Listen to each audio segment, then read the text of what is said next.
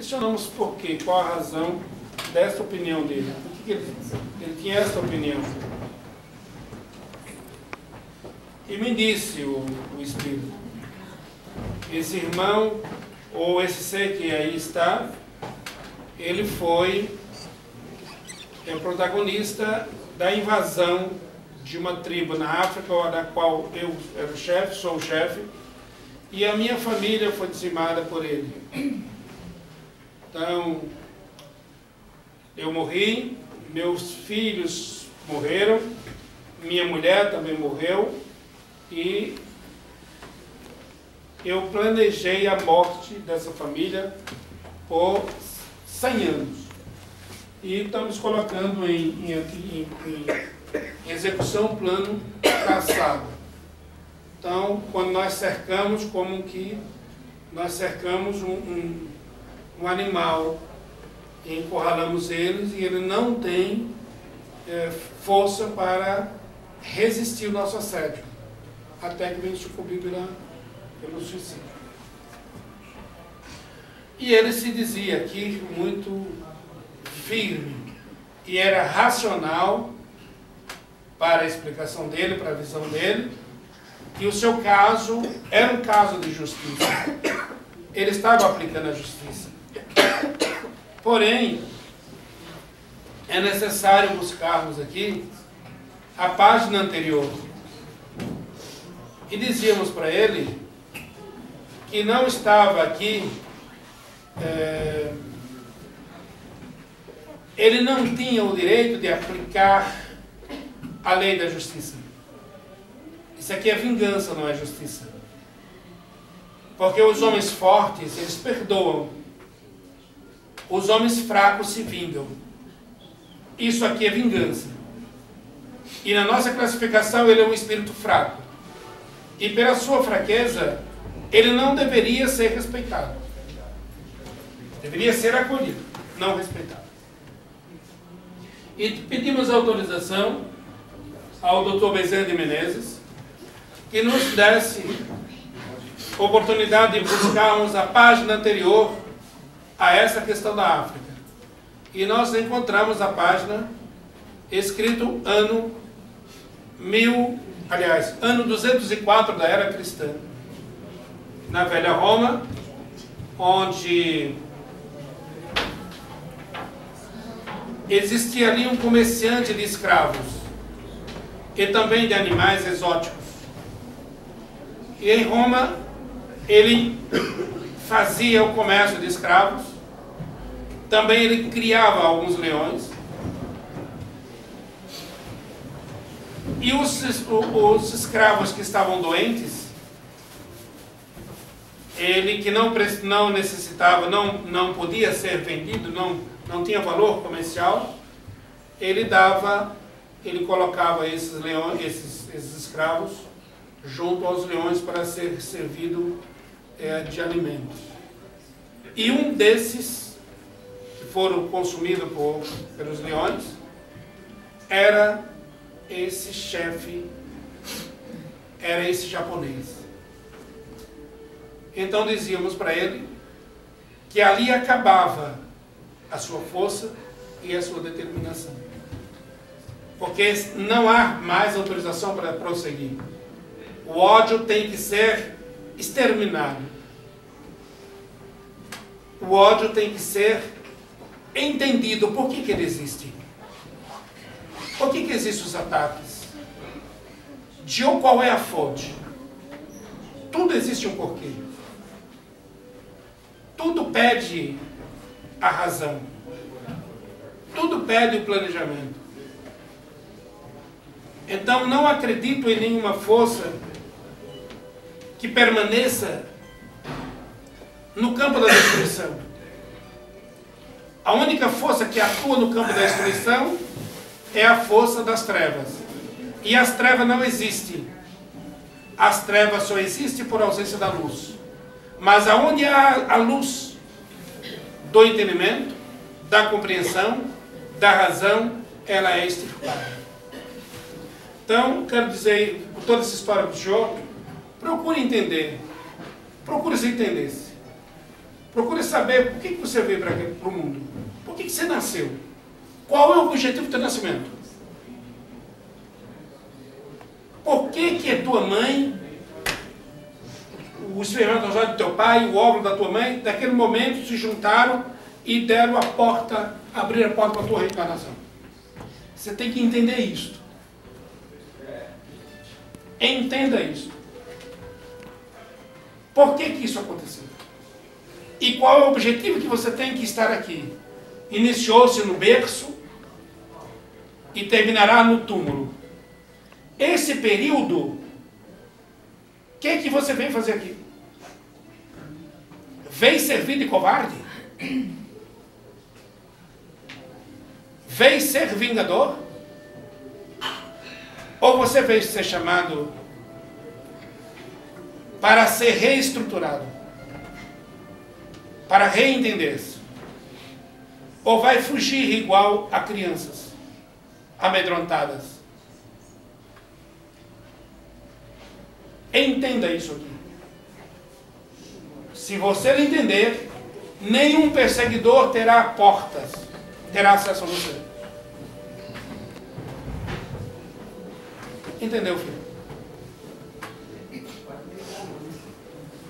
Alguma pergunta nesse sentido?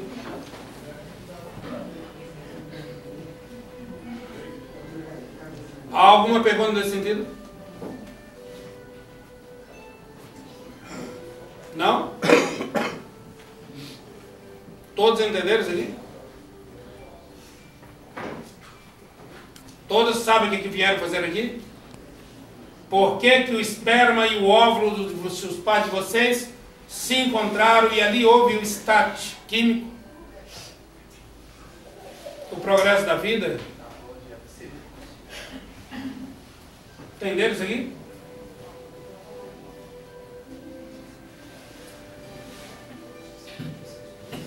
Na verdade, a gente veio para cumprir uma missão, né?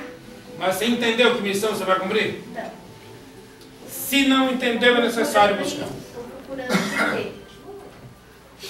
É necessário entender isso. Estou procurando entender, estou procurando, estou buscando para ver o porquê, né? De tanta coisa. Tanta coisa que é em seu entorno.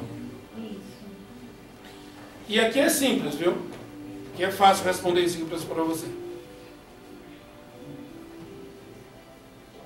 Talvez seja muito decepcionante e não vai atender os seus anseios. Talvez você queira aqui um exército para resolver o seu problema. E não é ninguém que possa resolver o seu problema. É eu mesmo. Porque o problema está dentro de mim.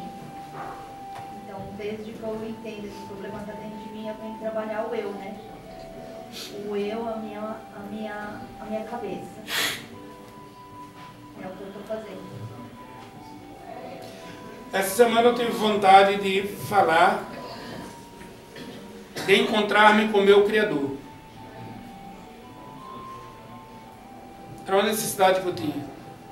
Eu não queria encontrar com o doutor Adolfo, nem com o doutor William, nem André Luiz, nem com o Bezerra, nem com Maria, nem com Jesus. Ninguém.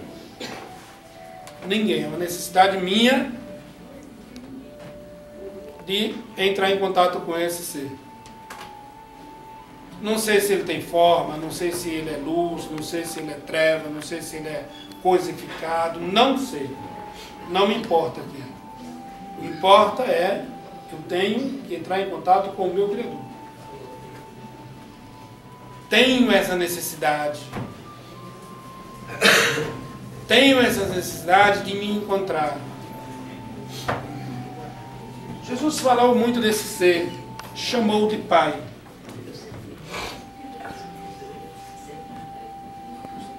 Jesus reportou-se a Pai. Quem deu o nome de Deus foi Paulo de Tarso. Jesus nunca referiu-se a Deus. Você sabe disso, né? Jesus nunca chamou o Pai de Deus.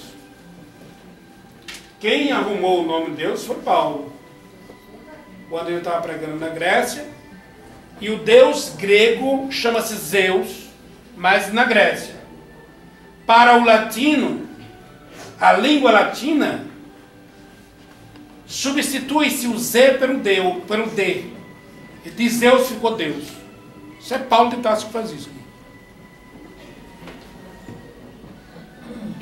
Então eu não quero saber de Zeus, nem de Deus, de Paulo, nem de Zeus do. Não quero saber se é Javé, se é Tupã dos índios. Não quero saber de quem é isso aqui. Mas eu quero saber que eu tenho que entrar em contato com o ser que.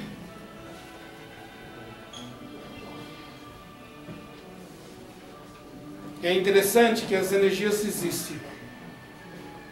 E ela volta. Ela te reconecta novamente. Ela te traz conforto, segurança. Te traz amparo. Porque a minha vida, ela é ceifada de muitas alegrias. O que eu recebo nesse grande rio são as dores. São as lamentações. Os tecidos emocionais em putrefação. São as decepções. A faceta das trevas. Isso muitas vezes, o contato intenso com as energias, ela mina as minhas energias. Eu preciso de me refazer. Eu preciso me reconectar. Eu preciso permanecer vivo. Tenho a necessidade de continuar existindo. Tenho a necessidade de continuar servindo.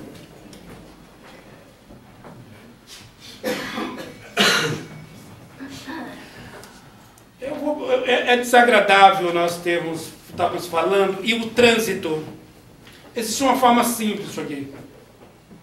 Quem vai assistir, utilize as cadeiras mais distantes permita que, os, que as cadeiras, primeiras cadeiras, sejam atendidas ou servidas, fique ser atendido por último.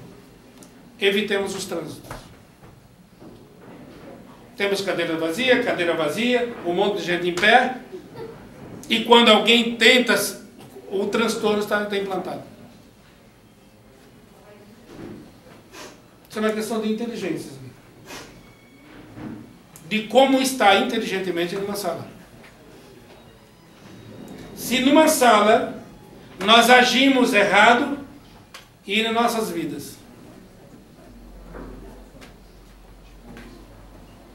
Nós não estamos preocupados, não pensamos o transtorno que causamos aos outros.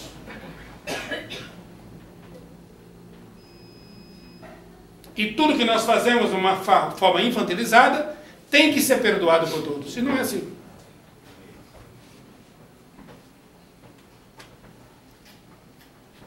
A diretoria da casa tem que dar exemplo de silêncio.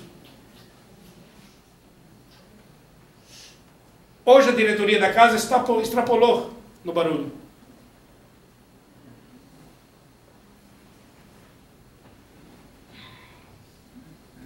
Todo o nosso, toda a nossa estadia tem que ser exemplar.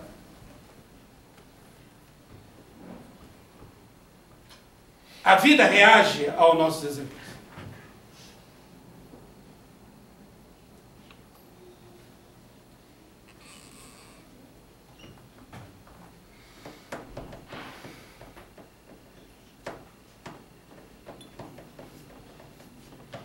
Entendemos isso aqui? Amanhã é dia de São João. Por que nós comemoramos São João?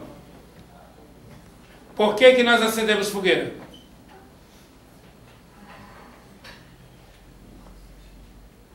Por quê? Uma homenagem a ele. A quem? Quem é São João? Por que São João? São João era o homem que batizava nas águas, que tem, que tem a ver com fogo.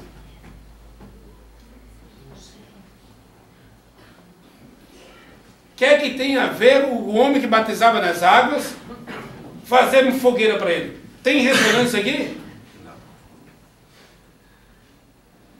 É racional o que a senhora está me afirmando? Não, não estou afirmando. Eu falei que o dia de amanhã é uma homenagem a ele. Sim, mas por que Agora, homenageamos? O porquê da fogueira eu não entendo. A senhora frequenta a casa espírita há quanto tempo? Há muito tempo. Há muito tempo. Conhece a Bíblia e conhece o Evangelho. Sim. Qual é o personagem que existe na Bíblia e que está no Evangelho? Ai, agora. Tem vários. Eliseu, Elias, Moisés. Como é que é? Na verdade, não é no Evangelho. Marcos, Lucas, Mateus. Era um pouquinho. Qual o personagem que existe na Bíblia e que está no Evangelho? Jesus. Quem disse você que está na Bíblia? Não, na Bíblia não, no Evangelho.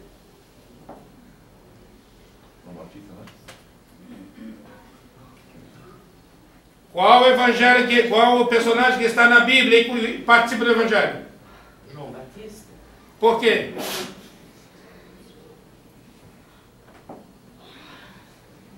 Veio preparar o Tem caminho. que fundamentar. né? Veio preparar o caminho do mestre. Tem nada de preparar de caminho para o mestre aqui não.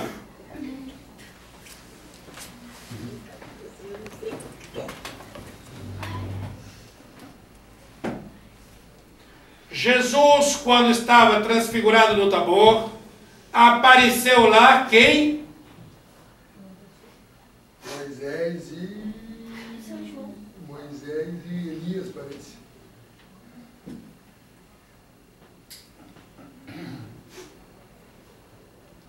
Jesus afirmou alguma vez que João, Elias já tinha vindo e nós não teríamos conhecido? Já. Onde? João Batista. João Batista. Onde Jesus afirmou isso? Na Bíblia. A Bíblia. Gente, espera um pouquinho. Ou fala quando tem consciência, ou não tumultue a nossa conversa.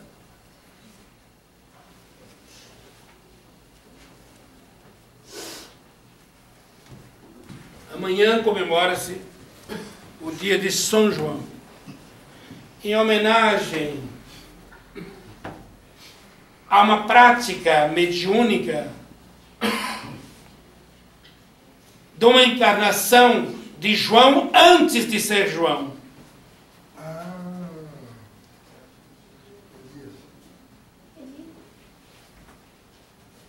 Elias. E esse ser tinha a mediunidade do fogo.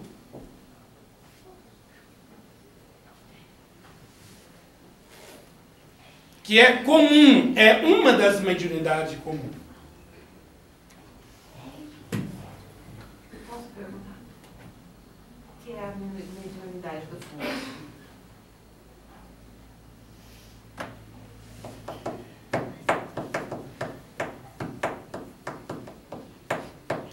Posso prosseguir sem lhe responder? Você vai encontrar a sua resposta. Prosseguimento. No Monte Carmelo, à margem do mar Egeu, tem lá um grande profeta judeu. Está na Bíblia. Existe o livro dele. Os irmãos judeus julgam que ele partiu para a espiritualidade numa carruagem de fogo. Foi um dos trabalhadores que fez, um dos profetas que fez que juntássemos aqui o trabalho do Deus único, a visão do Deus único. E mesmo nas práticas religiosas, as nossas atitudes não ficam despercebidas quando nós agimos sem amor. Quando nós agimos sem amor. Elias era dono dessa mediunidade. E não sei se isso posso chamar de congressos, de simpósios, não sei se de encontro. E foi feito um encontro de muitos sacerdotes daquela região. E o que era discutido nesse simpósio? A demonstração da mediunidade que servia ao Deus vivo. E mandaram colocar, fazer uma fogueira. E essa fogueira, cada sacerdote deveria fazer as suas, as suas orações e demonstrar o seu poder. coloca fogo nessa fogueira. E surge a inoperância de todos os sacerdotes, exceto um, Elias. E ele ainda diz: jogue água, cerque-o de água, faça, exponha outros elementos ele também dominava a mediunidade das águas. Vem aplicar isto como João Batista. Mas lá dominava, como Moisés também dominava, e hoje existem muitos médios que dominam isto. Ele faz suas orações e a fogueira molhada, encharcada, pega fogo. Haveria aqui só essa demonstração do poder de Deus. Porém, havia uma penalidade para quem não fosse eficaz na sua demonstração mediúnica. Qual era a penalidade? Corpo para um lado, cabeça para o outro. Decapitação. E esta decapitação de 400 sacerdotes, que a lei divina registra a falta de amor, a falta de caridade, de tolerância, ele poderia utilizar esses 400 sacerdotes para explicar qual seria a fonte das suas forças. Mas preferiram decapitar. E a lei dinâmica, o diálogo de Jesus com Nicodemos, é necessário nascer de novo. Jesus conhecia e conhece em plenitude. Quando vem questionar sobre quem é Jesus, Uns vão falar que é João Batista, ele disse, João Batista já veio. Uns vão falar que tu és João Batista. Aliás, Elias. Elias já veio e vocês não conheceram.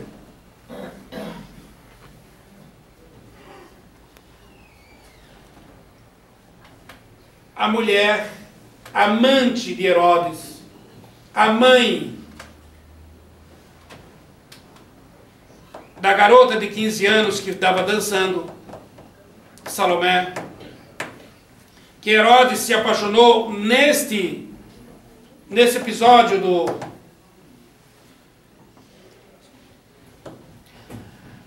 cerimônia, tem um nome, cerimônia da passagem. E a menina dançou lindamente. E ele diz, olha, eu queria te oferecer, mas ele estava pensando em oferecer alguns escravos alguma, algum ouro, prata, alguma fazenda, alguma coisa do gênero, para que ela tivesse aqui um futuro. Mas ela não sabia. Vou questionar para minha mãe. Quando foi questionar para a mãe, era a oportunidade de Herodes, autoridade, punir Elias. Porque ela tinha encontrado Elias, a personagem de João. Ela tentou seduzir Elias. E Elias, já conhecendo que ela tinha sido um dos sacerdotes decapitados, colocou a barreira e diz: Olha, você não é, você não melhorou tanto assim não, porque você está falseando o teu casamento. Você é casado com um homem, com um general, mas é amante do irmão dele, de Herodes. Eu não entro na tua, não deito na tua cama, nem vou para os seus braços. Ele avisou isso a ela. E ela não se conteve aqui, guardou isso aqui e permaneceu fraca. Foi a vingança. Não perdoou. E disse para a filha: Filha, pede a cabeça de João Batista numa bandeja de prata. A menina se choca e disse: Mas o que, que tem a ver o meu presente? O que, que eu vou fazer com a cabeça desse cara? Mamãe, você pirou? Viajou na maionese aqui? O que, que eu vou fazer? Filha, eu sei o que estou falando. Me dá. E ela volta lá com obediente, mamãe, ah, por favor, eu quero a cabeça de João Batista na cabeça, numa bandeja de prata. Cumpre-se a lei lá atrás. Jesus poderia intervir aqui? Poderia. Mas ele faz a declaração, não vim alterar a lei, vim cumprir. Então, esses problemas que nós estamos passando hoje nas nossas vidas é o cumprimento da lei. Os espíritos poderão alterar isso para vocês? Poderão. Mas não devem. A melhor tratamento para vocês é permanecer vocês com os problemas que têm. Permanecer com as mesmas relações que têm. Os vícios que têm. As dificuldades que têm. Porque esses são portas de aprimoramento.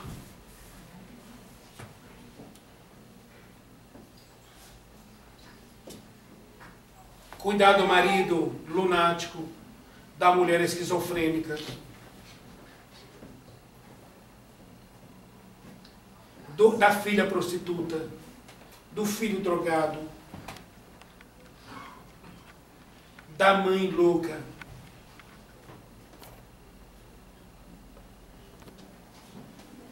do pai insano.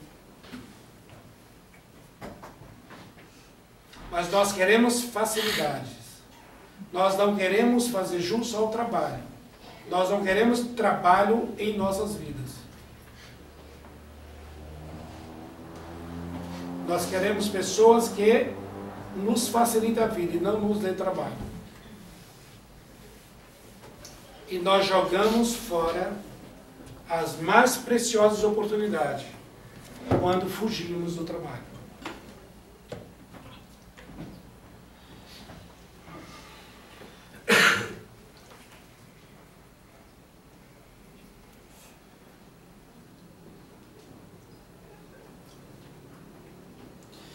Por isso que essa casa me dá trabalho, me dá trabalho. Eu tenho que muitas vezes fazer uma DR da, da diretoria tem. Os espíritos me enchem a paciência, me enchem a paciência. Mas é a essa encarnação que estou resgatando, fazendo jus, quanto mais rezo, mais assombração me aparece, porque mais eu tenho como pagar.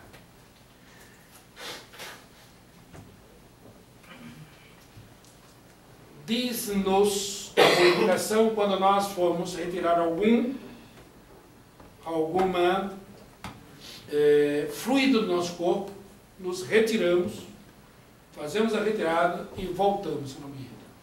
Não nos faça mais isso. Entendeu, filho?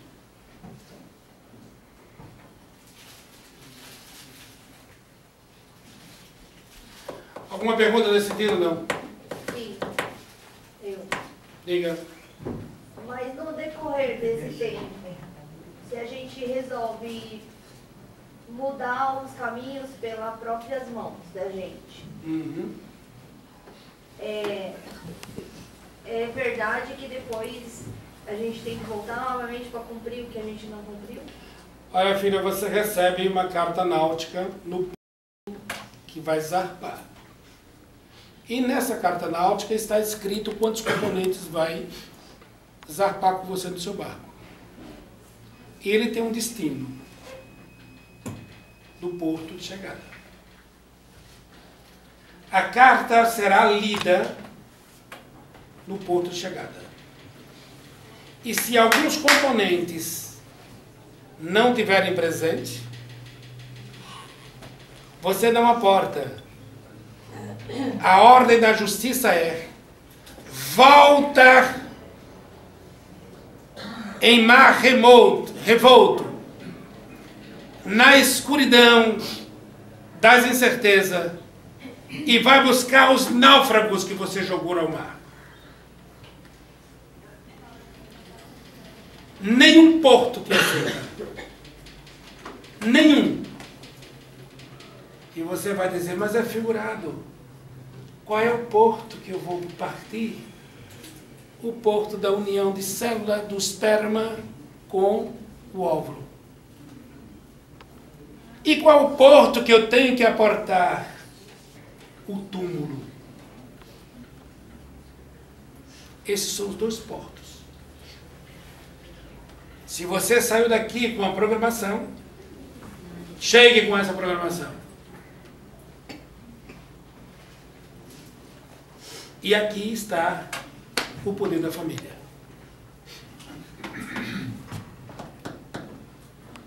O poder da família. Tem algum argentino aqui? Não, né? Não? A Argentina está se metendo num dos, piores, um dos piores projetos sociais que vai lhe causar tormenta, angústia. A Argentina está aceitando a lei do aborto. Cria uma das piores feras da espécie humana. Quando autoriza o ser racional chamado humano matar o seu próprio filho.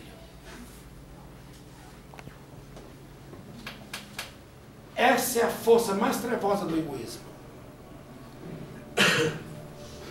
Os grandes investigadores do psiqueiro humano, e aqui vamos citar algum deles, Sigmund Freud,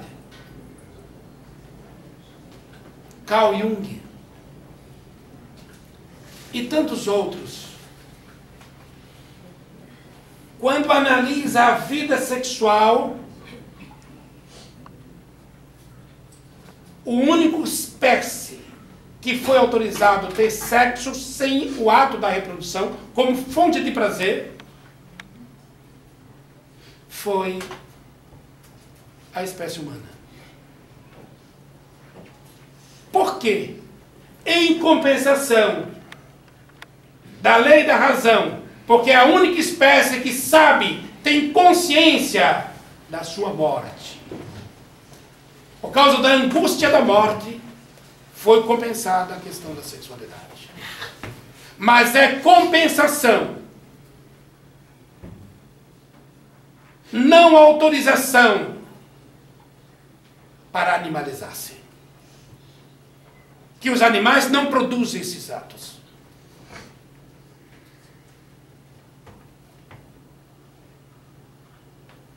Mas para massificar colocar em linha de montagem fabril o prazer. E toda a infraestrutura familiar está sendo ameaçada. Mas a direção dessa espécie não está na própria espécie. Existem engenheiros que toma conta da reencarnação. A reencarnação não é dado autorização manipulada pelas trevas. A direção deste cara aqui, ó. E esses irmãos que influenciam, enganam, saqueiam o pensamento humano será retirado.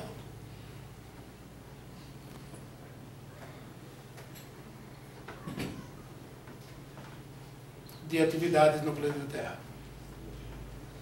E ai da nação que sucumbir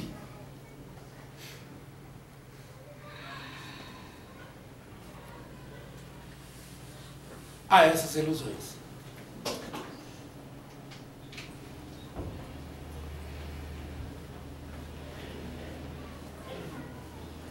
Tranquilo aqui, meninada?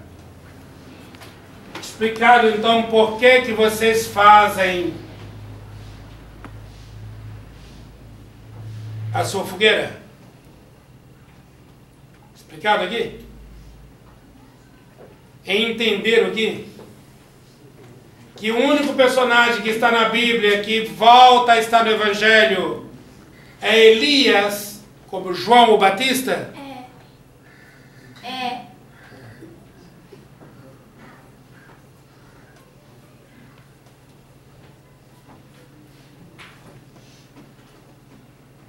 Tranquilo aqui? Por que essa expressão de cansada? Doido. Não aguento meus braços. Por que os braços não aguentam? Nossa, a noite passou muita dor. Dói aonde? Vai ter. Os dois.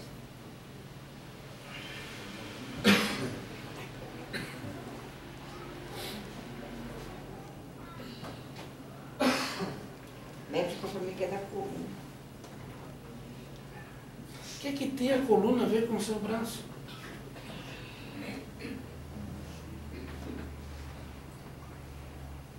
Será que esse aqui não é um problema de garfomiolite, não? Garfomiolite? Eu acho que eu tenho encontro, por dedução aqui, eu encontro duas pontas. Garfomiolite e sofamiolite.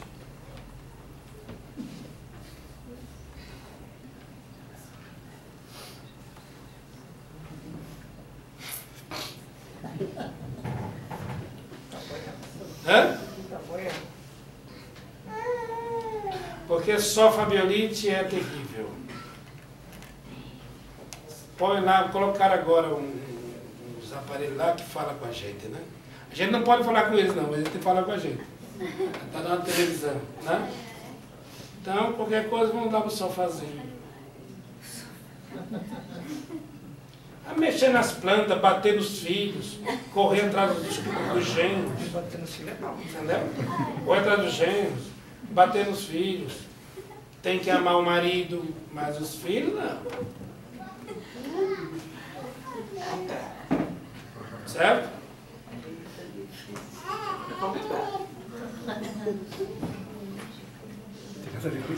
Bater no. Ai. Bacana. Tudo bem, Fernanda? Resolveu o negócio da água? Graças a Deus. Está- Resolver definitivo não, mas pelo menos tem água hoje. Paliativa, né? Eu vou ter uma conversa com o tio Márcio. Desculpe, aí, desculpe o barulho, mas deve ser. Não, mas é assim. Ah, como é que você tá, moça? Sim. Pra onde?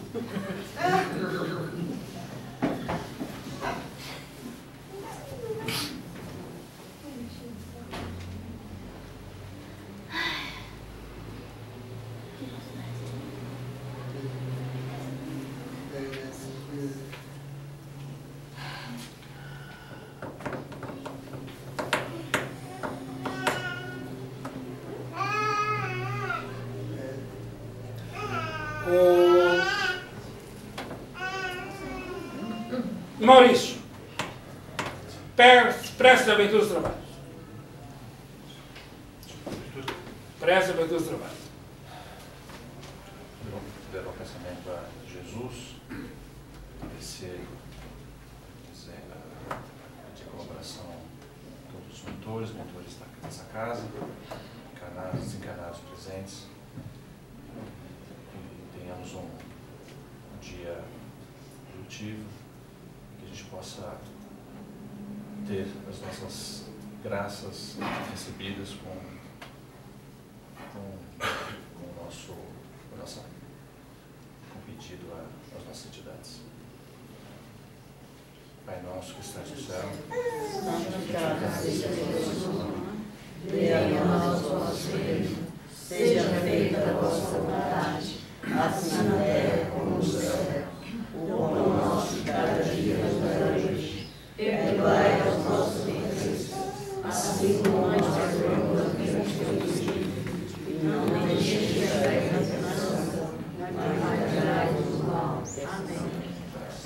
Obrigado, obrigado.